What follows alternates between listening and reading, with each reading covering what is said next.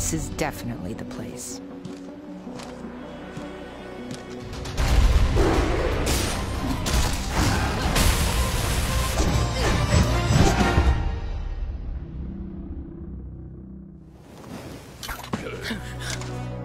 Amida